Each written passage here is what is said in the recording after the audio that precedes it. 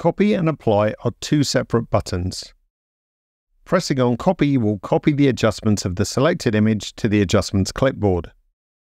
Now all the adjustments from this image are showing up as checked on our clipboard tool. Select the batch of images you wish to adjust by clicking on them while holding down the Command key.